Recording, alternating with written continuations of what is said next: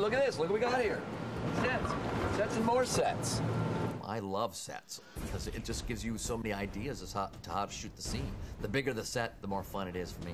There's about 135 sets in the movie. There's been just a, a tremendous amount of design in this movie.